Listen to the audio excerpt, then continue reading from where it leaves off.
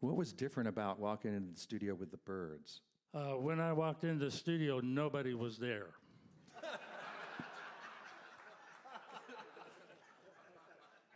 Those guys really played the role. They would come in later in a Volkswagen bus, hanging their arms out, you know, waving.